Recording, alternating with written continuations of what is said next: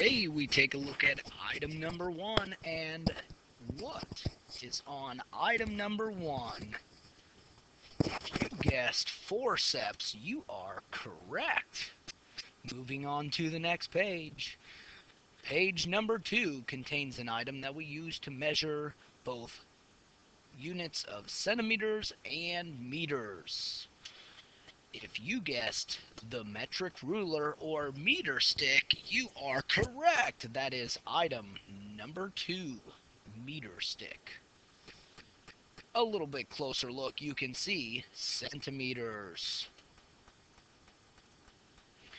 Opening up the next door behind door number three, we have in the blue arrow the mortar and the red arrow the pestle. Mortar and pestle.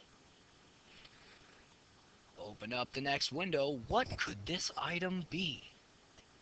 If you guessed watch glass, you are correct. If you guessed the contact lens of a giant, you are incorrect. I'm sorry. That is the watch glass. Excellent work. Moving on to the next item. Next item we have here is a. Go ahead and take a guess. And if you guessed test tube holder, you are 100% correct. Hooray. Yes, well done. Excellent. Next item up. Moving on to the next page. This is a small glass or plastic rod, sometimes used to guide liquids into a container. What could be the name of this item? If you guessed a stirring rod, you are absolutely correct. Give yourself a round of applause. Well done. Stirring rod. Moving on to the next item.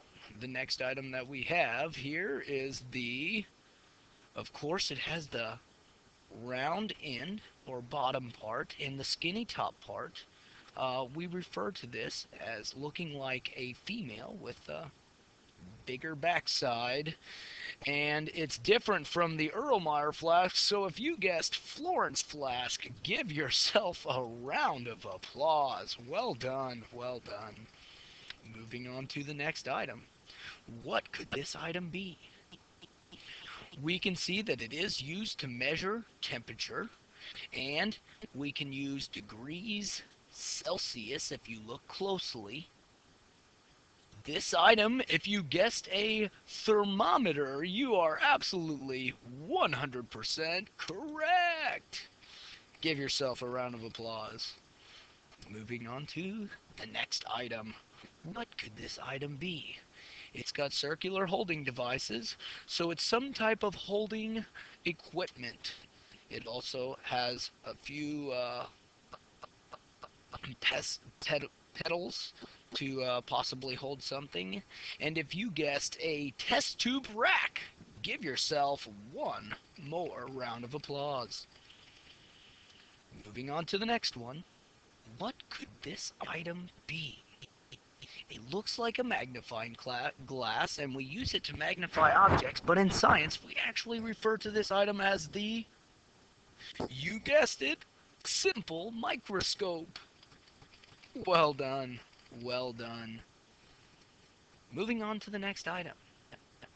Hmm, what could it be?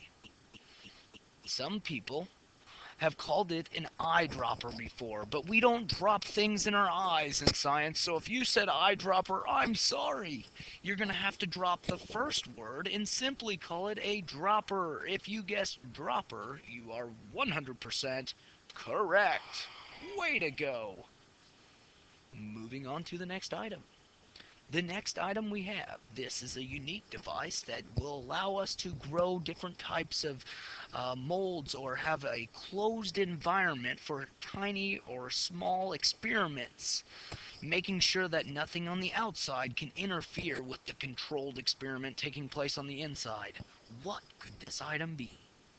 If you guessed a petri dish, give yourself another round of applause. That one's just for you. Moving on to the next item. The next item we have is very small, similar to the eyedropper, might even be a cousin or relative of some sort. This is actually a dropper that is used to drop even smaller amounts of liquid onto a particular surface or in some type of lab experiment. We call this one the. You got it! The pipette is correct! Way to go! Moving on to the next item. This item, notice the rubber ends will allow it to grip something that is glass or metal firmly without dropping it. If you guessed the beaker tongs is correct. And we have a, let's see here. Well, the bear was going to cheer for you, but evidently he's not in the cheering mood. Moving on to the next item. Next item we have here, very similar, possibly a relative of the beaker tongs, is simply his great-great-grandfather, the tongs. If you guessed tongs, give yourself a round of applause and a little toot on the horn. Moving on to the next item. And the next item we have here is something that we could place inside of the, yes, yes, that is correct, the test tube rack, and we call this a test tube. Give yourself another round of applause. Moving on to the next item. Page number 19 holds the item seems to be some type of device that has a gas valve down here and a flame that would come up down here and a tube that would go all the way to a gas type opening.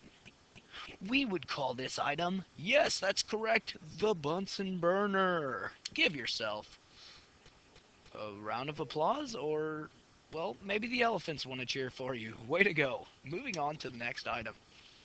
This next item is, can you guess it? Think hard. Sometimes we use it to measure volume using uh, milliliters, ml, or even cubic centimeters for other objects. Milliliters would be for liquid, cubic centimeters for solid objects.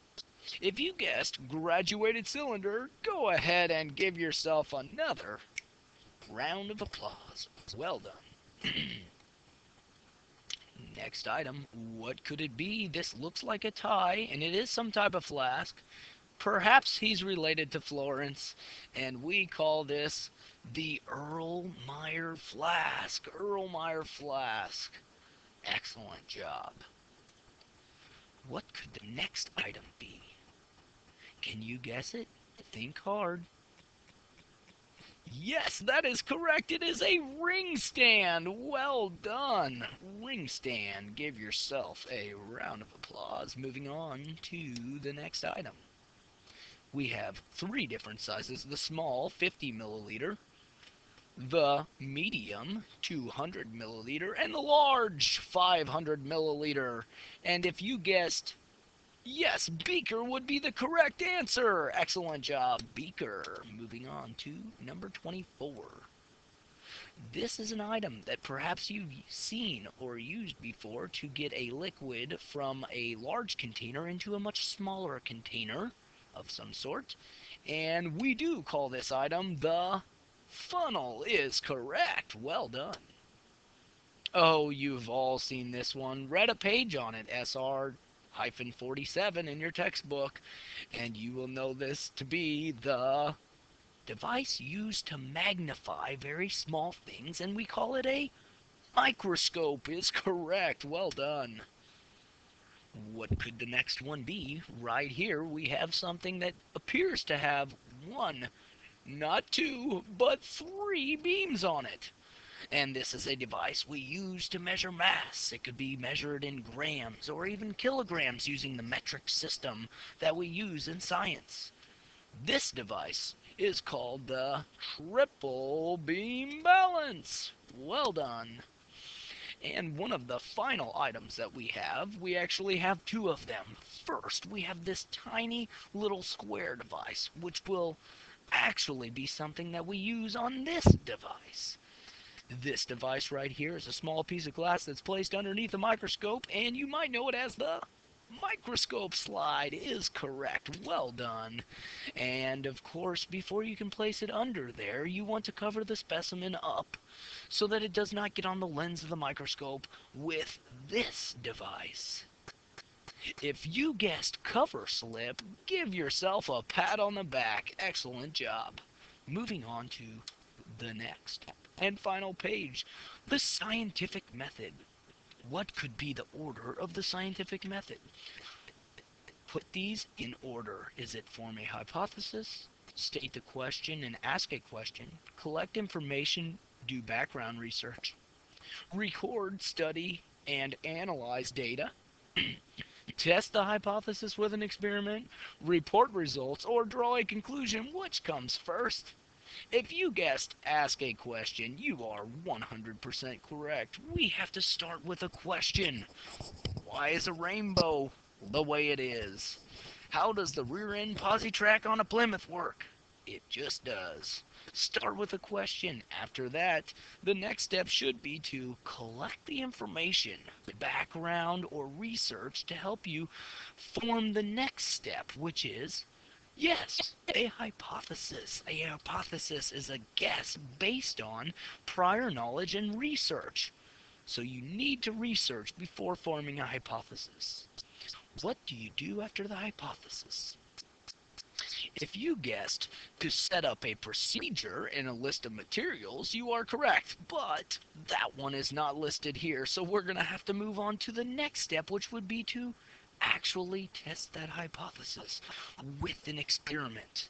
Make sure that you are controlling everything with keeping it constant uh, except for one changing variable. That one changing variable, of course, is the variable that you're testing. If it is the changing variable, it would be known as the independent variable. Now, if that independent variable actually changes a type of uh, a distance or some other variable, we call that other variable a dependent variable. Now, moving on to the next step. After testing the hypothesis, we need to make sure during the experiment that we're also recording and studying the data. And then, when the experiment's completely over, we can actually analyze it. So this one is already in its correct location. The next step would be to Oh, of course, after you've analyzed the data, you need to draw some type of conclusion. Figure out exactly what you can learn from your experiment. And finally, you need to report those results. Some way, shape, or form, report them either on a poster board or even publishing them on the internet. Thank you for joining me on Mr. Brescher's Science.